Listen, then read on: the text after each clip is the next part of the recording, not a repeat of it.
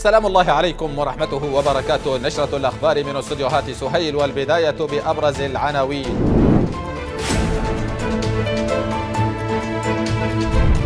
الرئيس العالمي يؤكد على دور النواب والشورى الرائد في تعزيز وحدة الصف لاستعادة مؤسسات الدولة. رئيس الإصلاح يهنئ أردوغان بمناسبة إعادة انتخابه رئيسا لتركيا ويشيد بدعمه للشرعية اليمنية.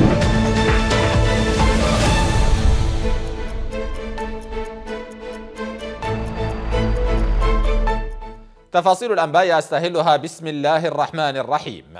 أكد رئيس مجلس القيادة الرئاسية الدكتور رشاد العليمي على الدور الوطني الرائد للمؤسسة التشريعية بغرفتيها النواب والشورى في تعزيز وحدة الصف حول هدف استعادة مؤسسة الدولة وإنهاء انقلاب ميليشيا الحوثي المدعوم من النظام الإيراني. وقال الرئيس العليمي في اجتماع مشترك مع رئيسي البرلمان والشورى إن مجلس القيادة الرئاسي على عهده الذي قطعه في اليمين الدستورية بالعمل على قاعدة الشراكة والتوافق الوطني وأشار إلى وحدة المجلس وتماسكه بشأن القضية المركزية للشعب اليمني. ووضع العليمي رؤساء السلطة التشريعية والكتل البرلمانية أمام مستجدات الأوضاع وجهود السلام التي يقودها الأشقاء في السعودية وموقف الرئاسة والحكومة الشرعية المتمسك بالمرجعيات المتفق عليها وطنيا وإقليميا ودوليا. وأشار رئيس مجلس القيادة الرئاسي إلى مسار الإصلاحات الشاملة في الجوانب الاقتصادية والسياسية والأمنية والعسكرية وتطرق إلى التحديات التي تواجه المجلس والحكومة في ظل توقف الصادرات النفطية جراء الهجمات الإرهابية الحوثية والبدائل الحكومية لإفشال أهداف تلك الهجمات الإرهابية. أكدت الحكومة على ضرورة وجود موقف دولي حازم إزاء التدمير الممنهج الذي تمارسه ميليشيا الحوثي بحق القطاع الخاص في مناطق سيطرتها وحذرت من كارثة اقتصادية في البلاد. وقال وزير الإعلام معمر الإرياني على تويتر إن البيان الذي أصدره الاتحاد العام للغرف التجارية الصناعية وغرفة أمانة العاصمة يؤكد صحة التحذيرات التي أطلقتها الحكومة منذ وقت مبكر بشأن المخطط الذي تنفذه ميليشيا الإرهاب الحوثية التابعة لإيران. وأوضح وزير الإعلام أن المخطط الحوثي يهدف إلى تجريف القطاع الخاص والقضاء على البيوت التجارية لصالح شركات ومستثمرين تابعين للجماعة. وأفاد وزير الإعلام أن القطاع الخاص تعرض منذ بدء الانقلاب الحوثي لعمليات ابتزاز وتضييق مستمر عبر إغلاق ومصادرة مئات الشركات والمصانع والمنشآت التجارية وفرض جبايات ورسوم وغرامات غير قانونية واحتجاز وفرض قوائم سعرية ما أدى إلى إفلاس عدد من الشركات. أحيت المكونات النسائية الداعمة للشرعية في مدينة مارب مهرجانا حاشدا إحياء للذكرى الثالثة والثلاثين للوحدة اليمنية.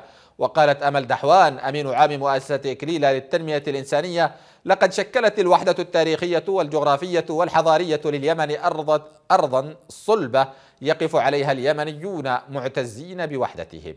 وللمرأة في ذكرى الوحدة كلمة وموقف فبرغم حضورها اللافت في كل الفعاليات والأنشطة الاحتفائية بذكرى الوحدة فقد نظمت المكونات النسائية الداعمة للشرعية مهرجانا خطابيا فنيا في مدينة مأرب تحت شعار الوحدة إرادة شعب ومستقبل وطن. حضره جمع غفير من حرائر مختلف المحافظات اليمنية. لا زالت الاحتفالات قائمة في محافظة مأرب مأرب الصمود مأرب الجمهورية مأرب الثورة. لا زالت الاحتفالات احتفالات الوحدة. الاحتفال بعيد الوحدة الثالث والثلاثين للثاني والعشرين من مايو نحتفل جميعا في هذه المحافظة الوحدوية برعاية سلطان هذه المحافظة الشيخ سلطان بن علي العرادة وبتنظيم كافة المكونات النسائية الشرعية لهذه الاحتفالية لعيد الوحدة المجيد. في المهرجان دعت المكونات النسائية لتوحيد الصف الجمهوري وتجاوز الخلافات والتباينات السياسية لمواجهة الخطر الطائفي المتمثل في ميليشيا الكهنوت الحوثي وحثت على التمسك بالوحدة باعتبارها طوق نجاة وصمام أمان لليمنيين يحتمون بها من المشاريع الصغيرة التي تستهدف اليمن وهويته ووحدته. إننا نحن نساء اليمن. كذلك ندعو إلى أن, أن, أن التمسك بالوحدة تمسك للخلاص من الخطر الهوية التي يحددنا وهو خطر الخطر الحوثي وخطر تشكيل الميليشيات الخارجية عن نطاق القانون. نحن في محافظة مارب نبارك للشعب اليمني هذا الذكر هذه الذكرى العظيمة هذه الذكرى العظيمة وندعو الكل لأن يقف صفار أو يصفر عداد الغل والحقد والماضي ونقف وننظر جميعا ما الخطر الذي يداهمنا نحن نواجه خطر الحوثي نواجه خطر تهديد الهوية اليمنية قدمت في المهرجان عدد من الوصلات الفنية والقصائد الشعرية والمشاركات الخطابية التي أكدت على الحفاظ على الوحدة وأهمية تكاتف جميع القوى الوطنية للخروج باليمن إلى بر الأمان واستعادة الدولة وبناء مؤسساتها. محمد القليصي لقناة سهيل مأرب هنأ رئيس الهيئة العليا للتجمع اليمني للإصلاح الأستاذ محمد بن عبد الله اليدومي الرئيس رجب طيب أردوغان بمناسبة إعادة انتخابه رئيسا لجمهورية تركيا. وقال اليدومي يسرني باسمي وباسم التجمع اليمني للإصلاح في الجمهورية اليمنية أن نبارك لكم وأن نهنئ من خلالكم لحزب العدالة والتنمية وشعب تركيا الشقيق بنيلكم ثقة الشعب التركي والفوز في الانتخابات الرئاسية والبرلمانية. وأعرب اليدومي عن تمنيه لجمهورية تركيا بمواصلة التقدم وتحقيق الإنجازات في مختلف المجالات السياسية والاقتصادية والتنموية.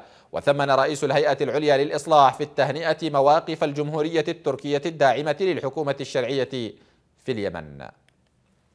ينطلق الأداء السياسي للتجمع اليمني للإصلاح من تمسكه بالثوابت الوطنية باعتبارها صمام أمان اليمن وهو القاسم المشترك بين جميع فئات الشعب اليمني والمرجعيات التي يستند إليها الجميع في نضالهم لاستعادة الدولة والقضاء على انقلاب ميليشيا الإرهاب الحوثية. نتابع. يعمل حزب التجمع اليمني للإصلاح سلما وحربا على تكريس الثوابت الوطنية ونشر الوعي بأهميتها فهي الأسس التي تستند عليها الدولة وصمام أمان الوطن والمرجعيات الرئيسية للمواطنة المتساوية ولا يمكن أن يستقيم حال أي بلد إلا بأسس ومرجعيات يلتف حولها جميع أبنائه. وتكتسب الثوابت الوطنية أهميتها من كونها أسس ومبادئ وقيم فوق الدستور. ذلك أن الدستور يمكن تعديله أو إجراء تغييرات واسعة فيه بينما الثوابت الوطنية لا تتبدل وهو ما يحرص عليه الإصلاح ويجسده منذ تأسيسه وإلى اليوم. ويحرص الإصلاح على استمرار الوحدة الوطنية ويرفض العودة لزمن التشطير والانقسامات فذلك ينبع من إدراكه لمدى خطورة مشاريع الانفصال على أمن اليمن والمنطقة كما أن العودة إلى زمن التشطير تعني إدانة العهد الجمهوري وتمجيد عهود الإمامة السلالية العنصرية والاحتلال الأجنبي.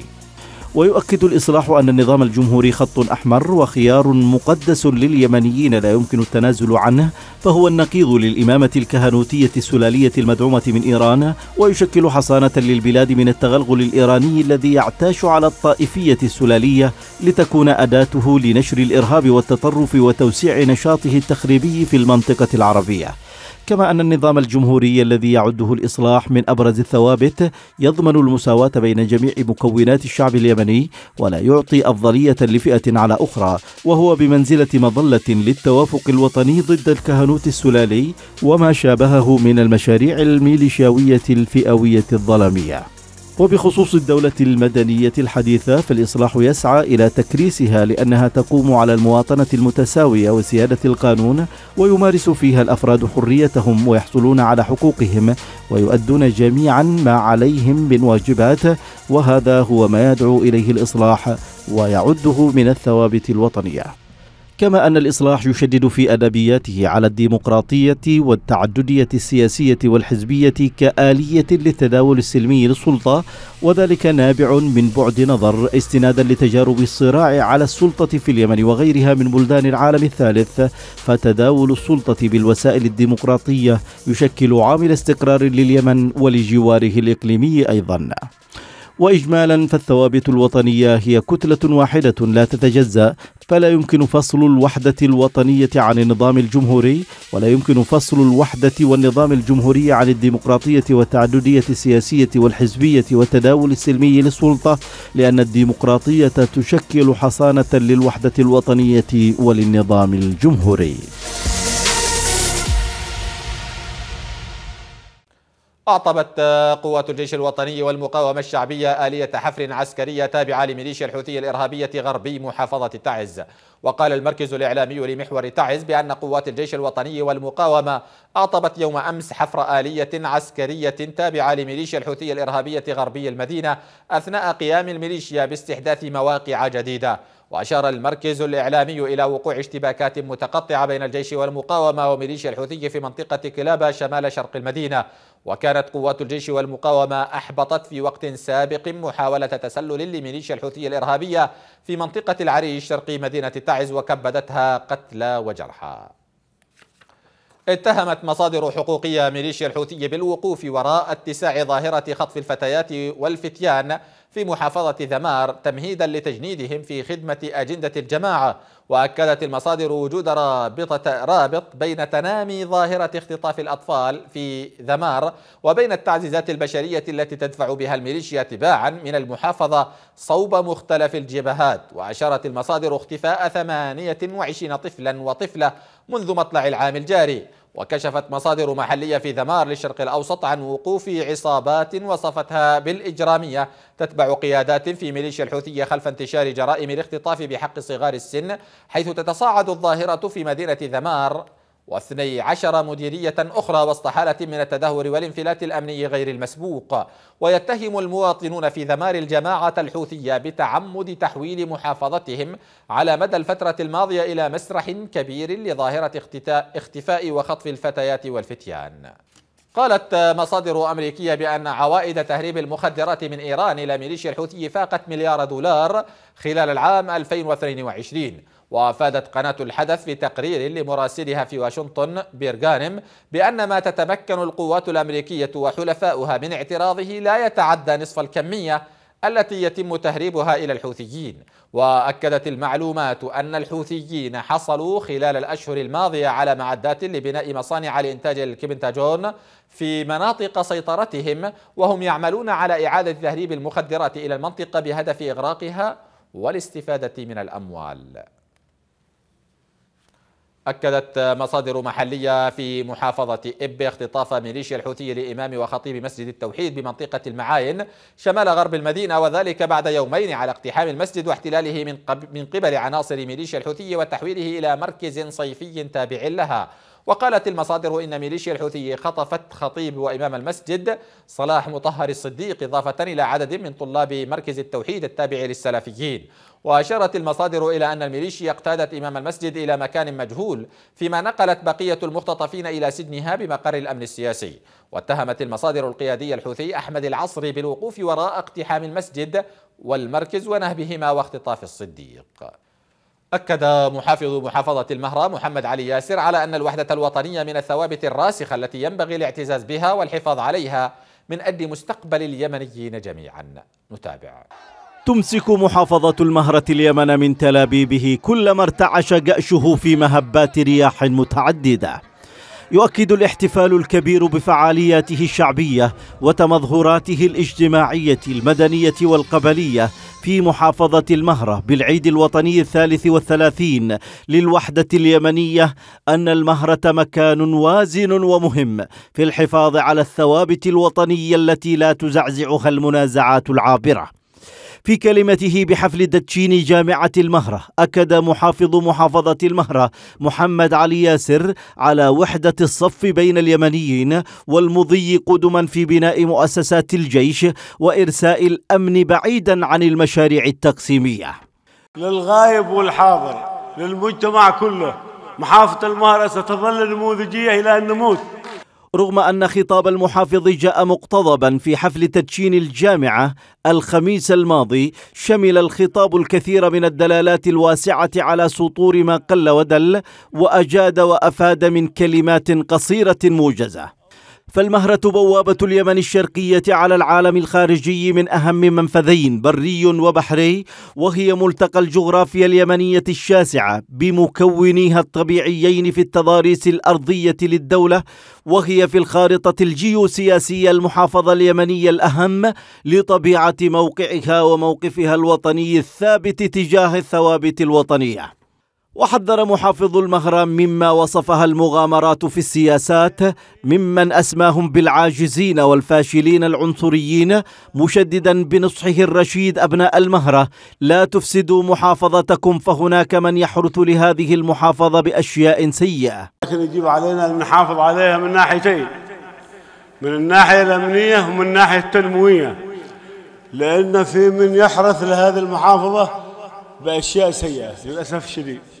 ورأى مراقبون ومتفاعلون مع خطاب محافظ المهرة ما يجسد أنموذجية رجل الدولة المسؤول عن وطنه قبل محافظته. وهذا المثال الوطني الراشد لا يمكن أن يصدر إلا في بيئة وطنية حقيقية يجمعها موقف وطني واحد وثابت من كل الثوابت الوطنية والقضايا المصيرية وكذلك هم أبناء المهرة دائما وأبدا. أجرى برنامج نبض السعودي التطوعي لأمراض وجراحات القلب التابع لمركز الملك سلمان للإغاثة والأعمال الإنسانية 22 عملية قسطرة و16 عملية جراحية للقلب المفتوح في مدينة المكلا خلال الفترة من 21 إلى 28 مايو. وفي غضون ذلك يواصل مركز الملك سلمان البرنامج الطبي التطوعي في مجال تدريب وبناء القدرات الطبية بمدينة المكلا. تتواصل الأعمال الإنشائية في مشاريع إعادة تأهيل أربع مدارس حكومية في محافظة لحج جنوبي اليمن وذلك بدعم من مركز الملك سلمان للإغاثة والأعمال الإنسانية. وتشمل الأعمال إنشاء فصول دراسية جديدة وأعمال الترميم وإعادة التأهيل لأربع مدارس في المحافظة ضمن مشروع الاستجابة الطارئة لضمان الوصول إلى بيئة تعليمية آمنة وشاملة والذي ينظمه منظمة ديفرستي. النشرة انتهت وهذا تذكير بأهم عناوينها.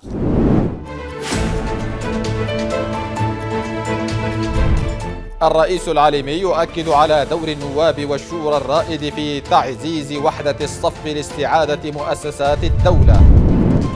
رئيس الإصلاح يهنئ أردوغان بمناسبة إعادة انتخابه رئيسا لتركيا ويشيد بدعمه للشرعية اليمنية. في ختام النشرة لكم مني أطيب المنى. تقبلوا تحياتي وتحيات فريق العمل في رعاية الله.